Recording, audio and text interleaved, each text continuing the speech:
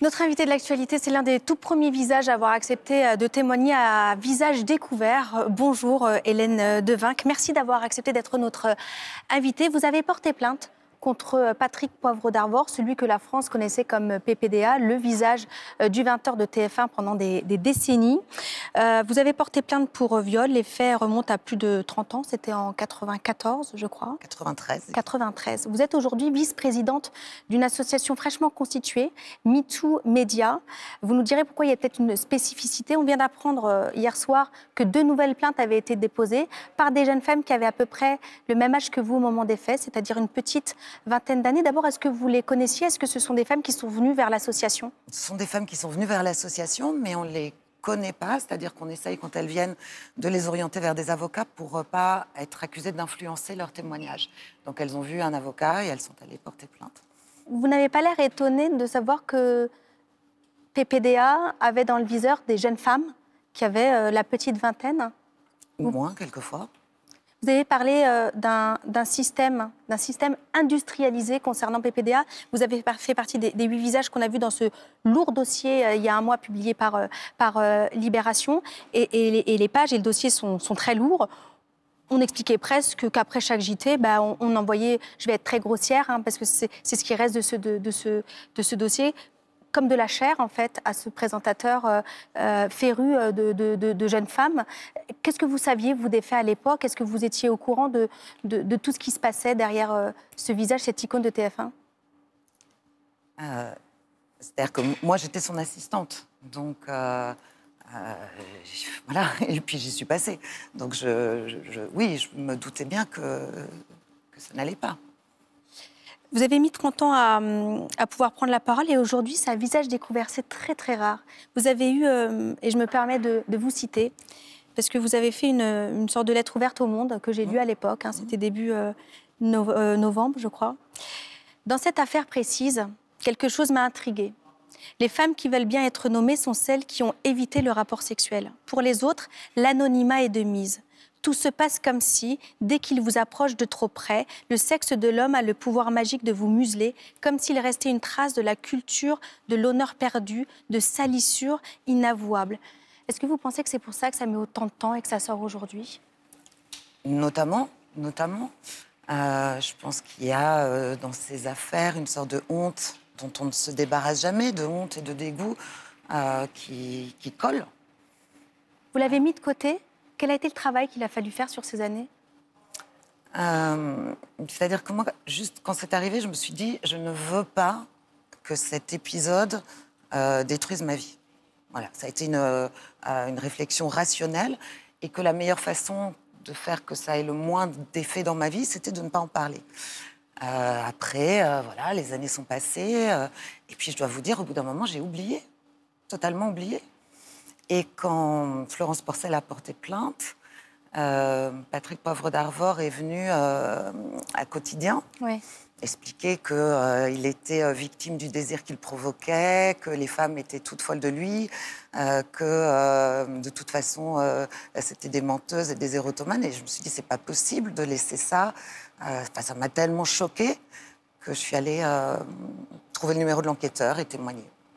Et c'est très courageux de votre part parce que vous êtes euh, un visage, euh, un visage de l'information euh, en continu dès le départ, hein, aux premières heures d'LCI. On s'est rencontrés, enfin moi je me rappelle très très bien de vous, hein, puisque vous faites partie des, femmes que, j'ai suivies. Et votre témoignage m'a aussi beaucoup touchée parce que vous êtes d'une nature assez discrète.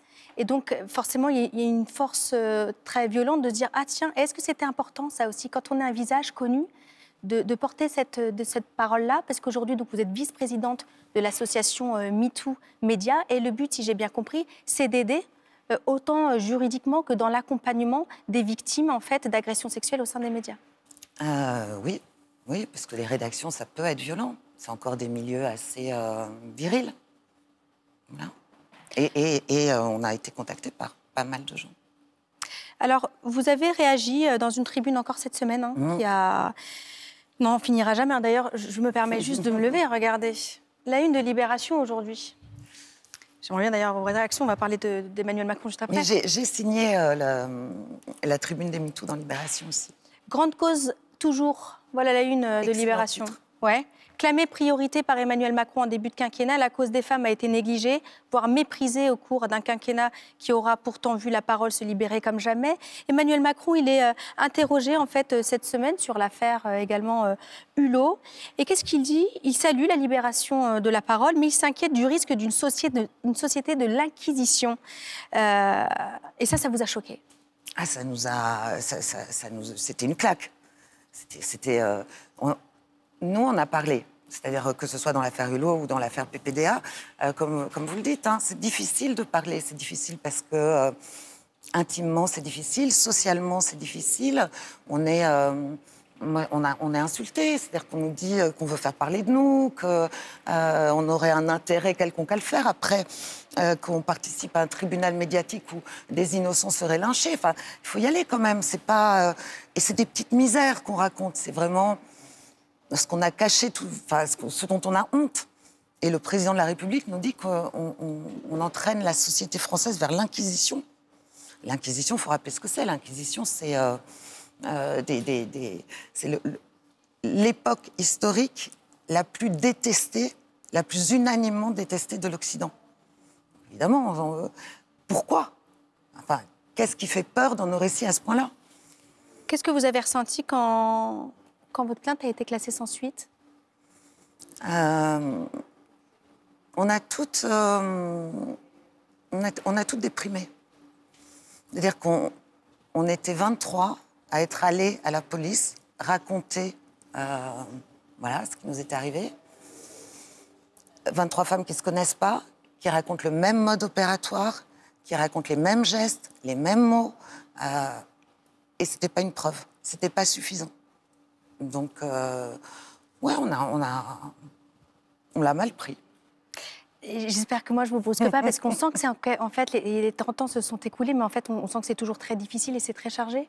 Vous avez eu une phrase, vous êtes dit que vous étiez tu longtemps, et vous avez dit le verbe est ton esclave dans ta tête et ton maître dans ta bouche. Vous vous sentez euh, fragile, certes, mais plus forte aujourd'hui d'avoir parlé, d'avoir sorti ça?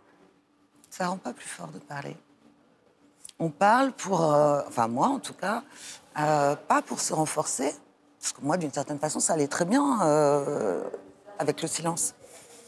On parle pour, la, pour une société plus juste. On parle parce que d'autres en ont besoin. On parle pour que ça serve. Il y a encore des jeunes femmes qui viennent vers vous? Ce sera ma dernière question. Comment ça se passe au sein de l'association de, Et est-ce que vous pouvez nous en dire un mot peut-être avant de se quitter? Je pense qu'il y aura des plaintes qui vont être déposées dans les, dans les temps ah qui viennent encore. Merci beaucoup Hélène Devingue d'avoir été avec nous. J'espère que j'ai, je ne vous ai pas brusqué. Dans, ces interviews sont toujours délicates. Et en même temps, c'est tellement important de pouvoir euh, tenir le rôle que vous tenez là. Et c'est certainement l'un des plus difficiles. Merci d'avoir été notre invité euh, sur euh, France Info. Là, on continue avec une nouvelle édition.